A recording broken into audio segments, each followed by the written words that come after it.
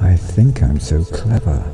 I think I'm so smart. I think I know everything. That I'm the bright spark, shining so brightly as I illuminate. I think, I think thinking is what makes me great.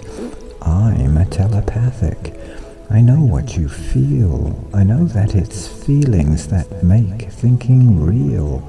Sometimes the river, the turbulent stream of thinking I'm thinking, seems like a dream still. I am thinking watching my thoughts resisting attraction by watching air brought with each inhalation, the pause in between, the rhythm of breathing like riding a beam as I'm releasing, as I let go. Thinking's just thinking.